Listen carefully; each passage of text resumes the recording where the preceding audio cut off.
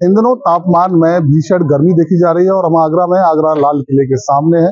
ये पर्यटन स्थल है और बड़ी संख्या में रोज़ाना पर्यटक यहाँ दीदार के लिए पहुँचते हैं, निहारने के लिए पहुँचते हैं। लेकिन इन दिनों गर्मी का प्रकोप ज़्यादा है और गर्मी का असर भी देखा जा रहा है। दोपहर का वक्त है, धूप तपती ही धूप है।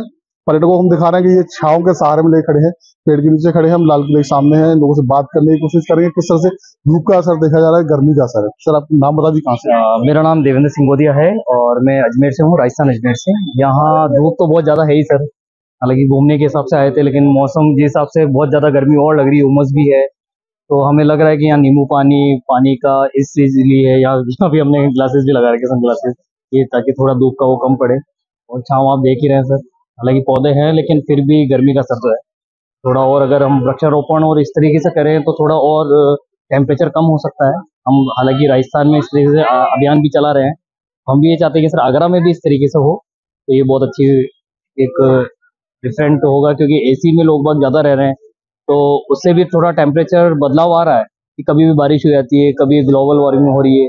तो मैं अधिक से अधिक ये कहता हूँ कि आप कम से कम ज़्यादा नहीं तो दो पेड़ लगाएँ, पौधे लगाएँ पौधे से फिर वो पेड़ बनेगा तो आपको उसका टेम्परेचर भी अलग अलग लगेगा। तो यही मैं रिक्वेस्ट ही कर सकता हूँ मैं सभी से। अच्छा मैसेज आप देने की कोशिश कर रहे हैं। पर्यटक हैं आगरा आए हैं घूमने के लिए आए हैं एक अच्छा मैसेज करने दिया है कि जो लोग हैं स्थानीय लोग हैं जो हर कोने के लोग हैं अपने घरों के बाहर या जहाँ खाली जगह मिले वहाँ पौधा लगाएँ वृक्षारोपण करें जिससे आने वाले समय वो पौधा पेड़ बनकर लोगों को छाव दे सके जैसा कि हम आपको दिखा रहे हैं कि आगरा किले के सामने खड़े आगरा किले पर रोज़ाना बड़ी संख्या में पर्यटक पहुँचते हैं लेकिन इन दिनों इस समय पर्यटकों की संख्या में थोड़ी सी कमी देखी जा रही है। उसका कारण है गर्मी। और इधर मैं आपको दिखाने की कोशिश कर रहा हूँ कि पेड़ के नीचे जो पर्यटक है पेड़ के नीचे छाव लेने की कोशिश कर रहे हैं छाव में खड़े हुए हैं और गर्मी से बचने की कोशिश में है ताकि गर्मी से कुछ हद तक बचाएगा तो छांव में लोग खड़े सर आपसे बात करते हैं। क्या नाम है आपका? मेरा नाम अजीत सिंह है। कहाँ से मैं अलवर से हूँ पूरी टीम के साथ हम आगरा घूमने आए थे तो थोड़ा सा गर्मी का माहौल ज़्यादा है यहाँ पर। और यहाँ पे क्या है कि अब थोड़ा सा ठंडा पानी वगैरह नींबू पानी इसकी ज़रूरत पड़ेगी। और यहाँ पे हम देख रहे हैं कि आप छाव में खड़े हैं सभी लोग। धूप धूप की वजह से। सर पसीना भी आ रहा है। छाए में खड़े तब भी पसीने आ रहे हैं यहाँ पे। गर्मी तो थोड़ा माहौल है। इस वजह से टूरिस्ट प्लेस में यहाँ पे भीड़ भी इतनी कम है इतनी हैवी नहीं गर्मी का असर पड़ रहा है गर्मी का सर है सर और लोग यहाँ आपसे बात करते हैं। मैम कहाँ से मैम आपसे बात कर लेते हैं एक बार धूप को लेकर। क्या नाम है आपका? दूध को लेकर। कहाँ से? जोधपुर राजस्थान। राजस्थान से है। आगरा में है। किस तरह गर्मी है और गर्मी से किस तरह परेशानी आप देख रही नहीं परेशान अभी आए तो कुछ टाइम हुआ कल तो पूरे दिन बारिश थी। आज धूप है थोड़ी। धूप से परेशानी है।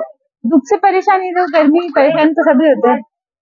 पर हम राजस्थानी हैं तो चलता है हम इतनी गर्मी तो सहन कर सकते हैं। जो राजस्थान से आए हो और गर्मी को सहन करने की बात कर रहे हैं कि गर्मी को सहन कर सकते हैं राजस्थानी राजस्थान का आगरा की तुलना में ज़्यादा रहता है और वहाँ गर्मी का प्रकोप ज़्यादा दिखा लेकिन हम आपको आगरा का तस्वीर दिखा रहे हैं कि लगातार यहाँ गर्मी का असर देखा जा रहा है, तब तक धूप का असर है।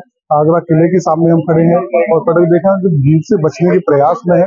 सिर पे कैप लगाए हैं गोगल्स इस्तेमाल कर चश्मे लगाए हुए हैं और जहाँ छाव मिलती है, वहाँ थोड़ी देर के लिए ठहरने की कोशिश कर रहे हैं ताकि गर्मी से कुछ हद तक राहत मिल सके। लक्ष्मी समय आगरा।